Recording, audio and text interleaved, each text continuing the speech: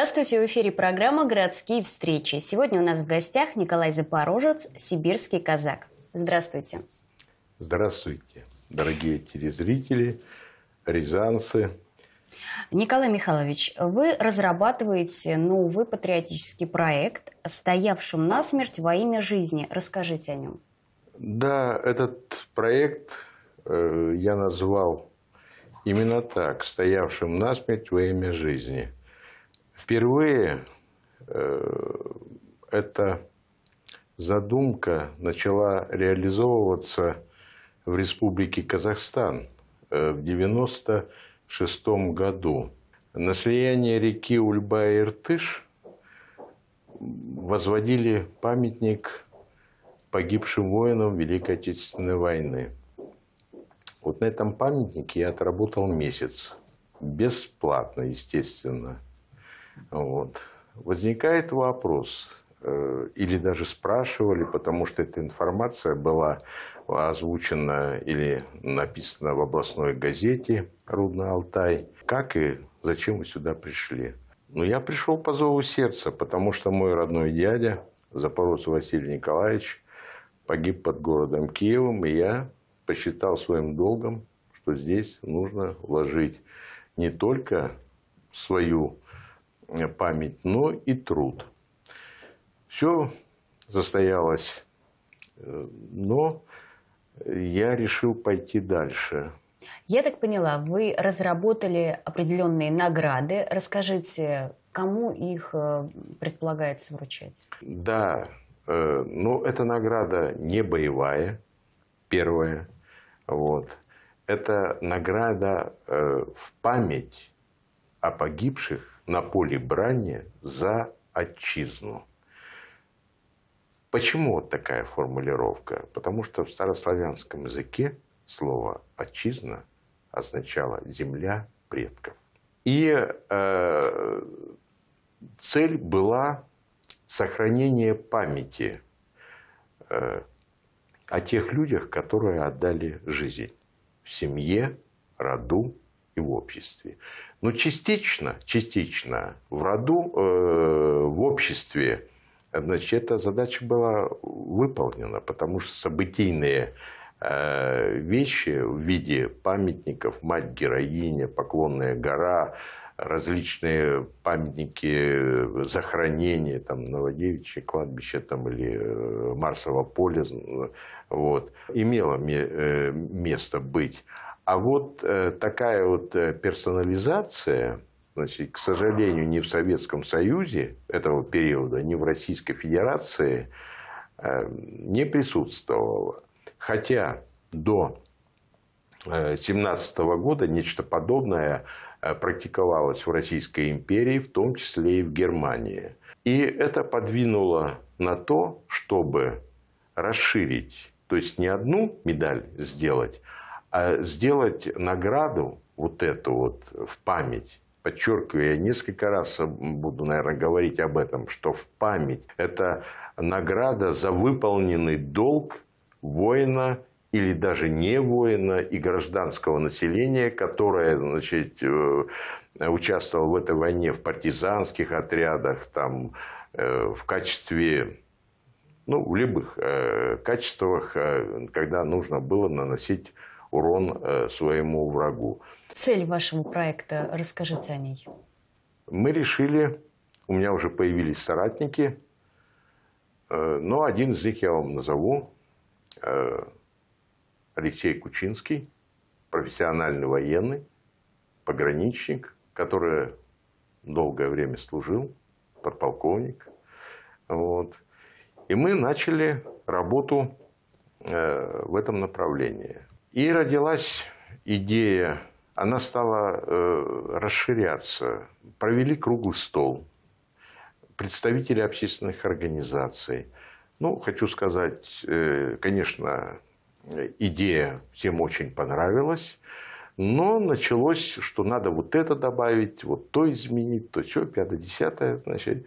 Вот. Но нельзя э, э только помнить о том, что было с 41-52 год. Надо помнить и сегодня, э, что наша страна и многие военные выполняют воинский долг по защите рубежей э, своей страны и выполняя э, определенные задачи по сохранению мира в ближнем и дальнем зарубежье. Ну, как пример, может быть Сирия. Все об этом знают. Чечня. Значит, конечно, это внутренний конфликт, но тем не менее это была война. И опять же я говорю, на этой войне в двух компаниях мы потеряли по скромным подсчетам 250 тысяч нашей страны.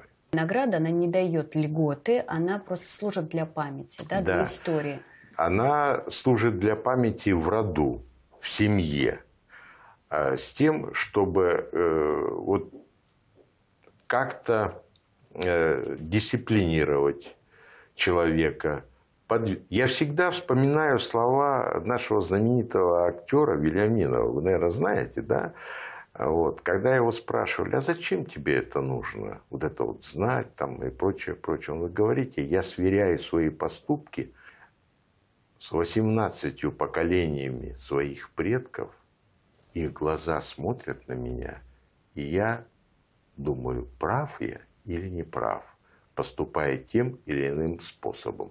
Это дисциплинирует как гражданина, как человека, и помогает воспитывать своих детей, и все идет, как говорится, на благо общества страны. Э, С кем-то вы уже списывались, кто-то, какие-то организации вас поддержали? Да, э, значит, казаки города Рязани с э, э, руководством э, атамана Доценко, вот, а также администрация, ну, в лице некоторых людей города Рыбного, они по мере силы и возможности помогают двигать этот проект. Поэтому и называется медаль народная, потому что эта иници- инициатива пошла из народа. И, конечно, если государство в лице Государственной Думы и э, лично Владимира Владимировича Путина поддержит эту идею, доработает ее, конечно, значит, и эта медаль в память о людях, которые погибли на этой или на той войне, или пропали без вести, будет вручаться их потомкам. Но я ставлю запятую значит, после вручения потомкам по мужской линии с правом ношения и передачи по наследству от отца к сыну. Аналогов такого у нас нет.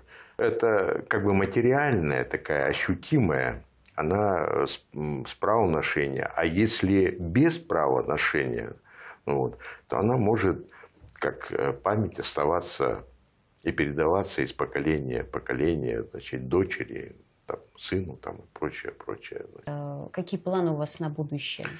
Ну, план такой. Во-первых, нужно доработать э, нагрудный знак, который будет вручаться матерям, которые и отцам, которые, ну, по-разному уже складывается жизнь, вот, э, которые потеряли своих э, дочерей и сыновей.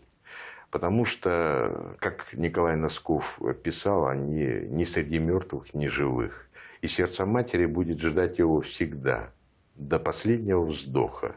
Поэтому он не мертвый, он для нее живой. Поэтому вот такой вот знак разработан. Вот. А э, это 41-45 год, мы сказали. А ведь еще мы планируем еще 5 по периодам. Это э, война 14 года. Это знаменитая атака мертвецов. Знаете, наверное, значит, когда 50, чуть больше 50 э, человек наших воинов после это, атаки хлором, выплевывая легкие, с криком «Ура!» обратили в бегство, бегство многотысячную полчищу австрийской армии. В мировой практике она э, получила название «Атака мертвецов». Это беспримерное мужество э, значит, людей, и нам э, нужно гордиться и помнить о них. Спасибо. И на сегодня это все. Всего хорошего. До скорой встречи в эфире.